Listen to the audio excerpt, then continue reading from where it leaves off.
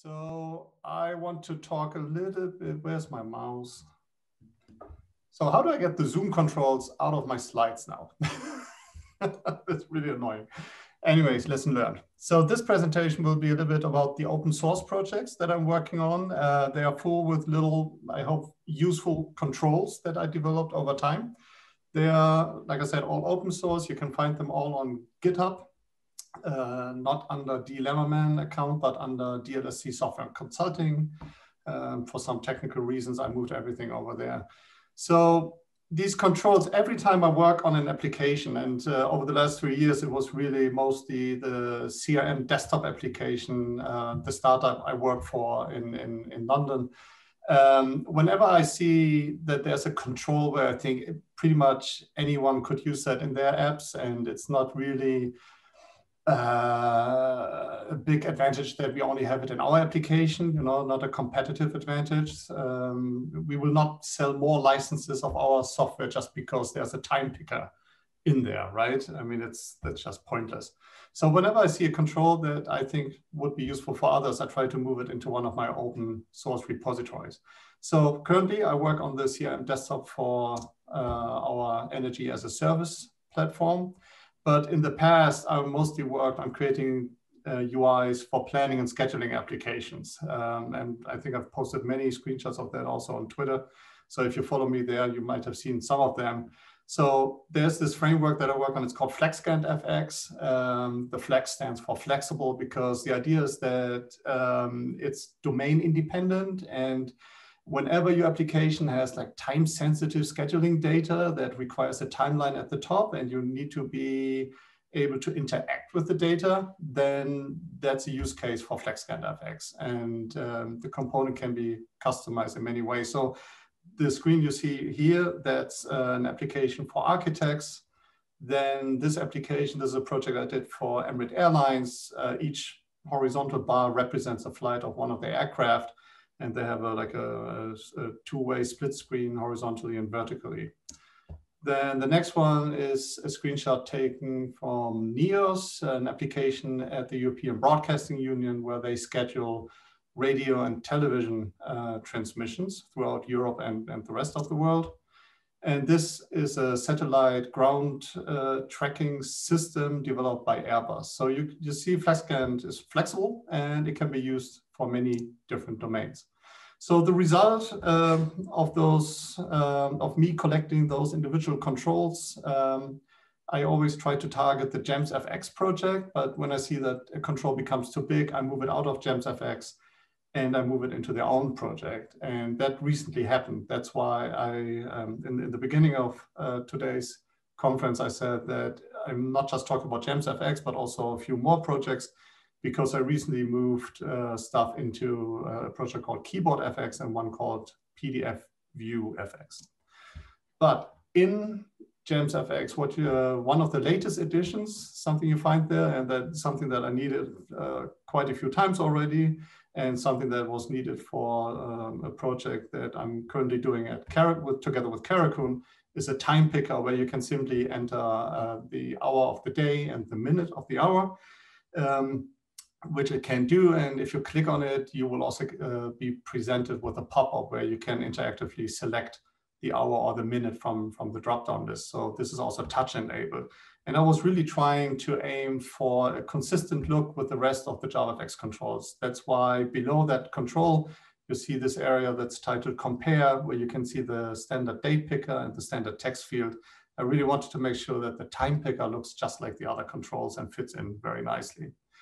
Uh, it has full keyboard support, so you can use arrow keys, you can go up, down, you can use the keyboard to enter the time, and, and so on. Um, and then, of course, makes sense to not just have a time picker, but also a duration picker. So there you can enter a duration, duration like two days, 10 hours, 23 minutes, 55 seconds, and 001 milliseconds. I doubt that anyone needs that, uh, at least not all those five fields at the same time but maybe an application needs seconds and milliseconds because it's in the scientific domain, okay? Uh, or you just need uh, the fields for days and hours. And those fields are all rollover. So if you hit a certain thresh threshold for a field, it will automatically increment the previous field. And you can also modify the labels. The, it has support for short labels and long labels or no labels at all. The next control that also just recently added is called a, I, call it photo view, but it's really stupid name. I think I need to change that. I don't know, maybe avatar picker or something like that. But that's a UI that you know from many applications where you register your uh, an account and then you want to upload um, like a profile image, like a photo of yourself. So you can just use drag and drop. Oh, that's that's a very attractive person right there and you can drag in a big photo and you can zoom in and place the image. You can change it to a rectangle, back to a circle. You can make this field editable or not. And uh, while you're doing all these things, at the same time, it's creating a crop version of the image. So if you want to then uh, save a smaller version of the photo to your database, uh, you can get rid of the original big image and just use the little, little one. Then one control that has been in there for quite some time is something that I really, really needed a lot for our CRM desktop application. It's a draw control, but it's not just a draw that uh, pops up and then disappears again, but you can also use a handle to resize it and a button to close it.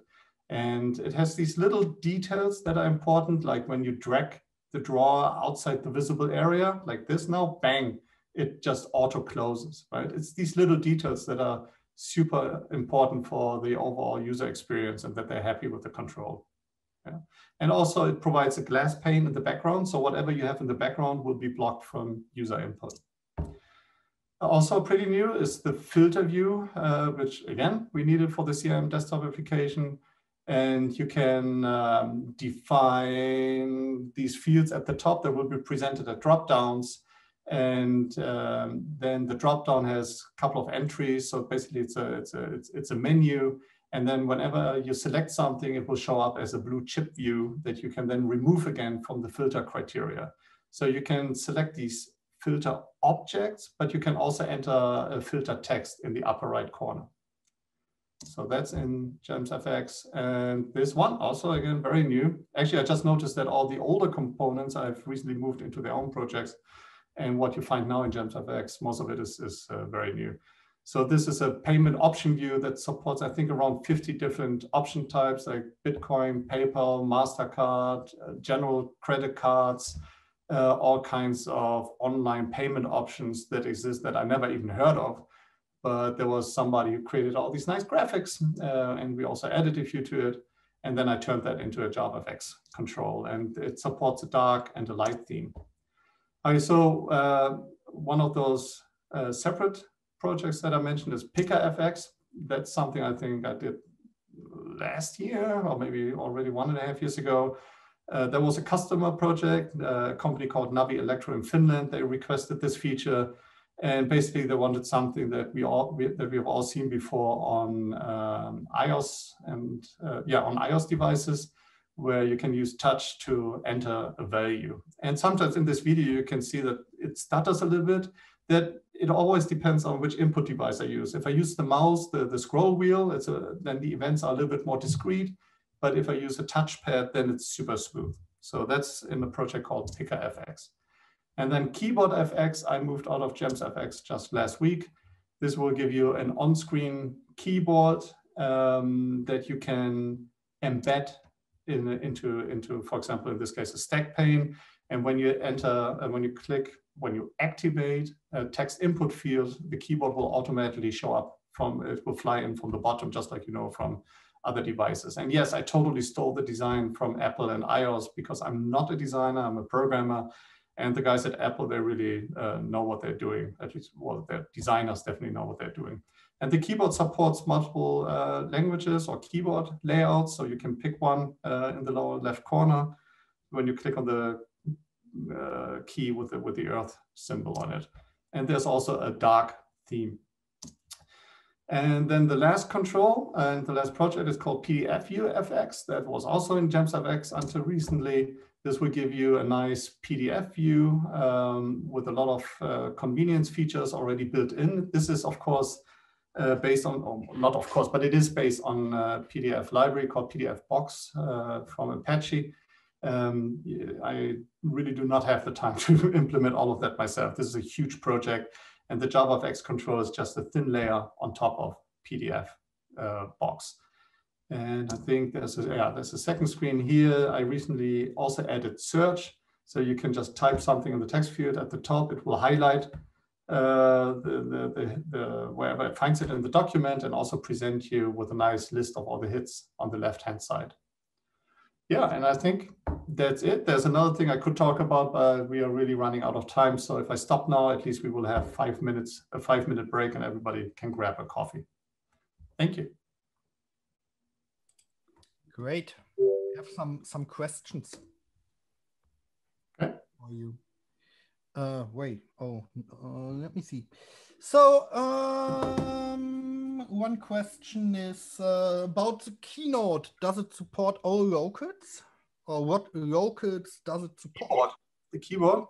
Uh, all the all the layouts, the keyboard layouts are all in XML files, so you can add any layout that you like. But it comes with the, the German layout, a German German Germany. Uh, it comes with uh, the US layout and with the Finnish layout, because the sponsor was a Finnish company. Okay. And by the way, I don't know if you noticed, but most of the controls had a third-party logo in the upper left, in the lower left corner. So most of the controls were sponsored one way or another by a company. Okay, so sponsoring open source works. Okay, that's cool. Um, so there was a question: if you know if there's a, a control for printing files? For printing files, the yeah. PDF. Yeah, the question was if there's a control for printing files, maybe in the PDF viewer, if you have support. Yeah, I mean, that's already built into PDFBox, so I didn't have to do anything there. You can just send that to the printer. Yeah. Okay. Mm -hmm. Yep. Uh, Why did I, I like the last one. Why did I create keyboard FX instead of using the FX virtual keyboard? Ah, yeah, this is new. I haven't seen that. Yeah, okay because I think that's a little bit a dormant project. Uh, that's one of the reasons. You know, it's in the mobile area. Uh, I did not hear a lot of good things about it, but I know that my customer tried using it and they were not happy with it. Uh, they wanted re a really nicely designed uh, keyboard that really looks like what you can find on, on an iPad. So um, I think basically the answer is it just wasn't good enough for them. Okay. And I think it also it, it, it, I think it only appears on strictly mobile devices. But then if you have like a PC that has a touch display, it doesn't work as well. Couple couple of issues there. I can't remember too long ago. Do you do you know a good tutorial where to start when creating custom controls? So I had some, or the chat already provided some links that are related to Java. GUI Garage, right? Yes, I don't have one for for uh, JavaFX 11? Um, no, I do not know that because I didn't. I, I didn't start with Java 11. I started. That's the point, right? Yeah, yeah. Started with eight, so yeah. that's a that's a good point. Yeah, so that, that that might be a gap. Yeah, but uh, I mean, if you want to know a little bit about how to write custom controls, then you can go to my website at dlsc.com, and there's a blog with uh, roughly 30 posts where I talk about custom control development it's not it's not addressing like how do you do custom controls, but it's uh, giving you individual uh, tips and tricks on how to do certain things. I, I wrote a blog post for Java 8 exactly about how to write custom controls. I will look up. And, and, Gerrit just made a good comment that it's actually not that much different between 8 and 11. Okay, that's that's good. So I can I will just uh, look for for my post and and post it there. Yeah, the rest was so they liked your your controls. There was a lot of good feedback. Mm -hmm. yeah. Thank you. A lot of people ask why you used that picture and not a really really nice one for the avatar. No, because, because we have a code of conduct. I had somebody else in there first, but, but, then you objected and my wife objected, and then I had to remove her again. Sorry.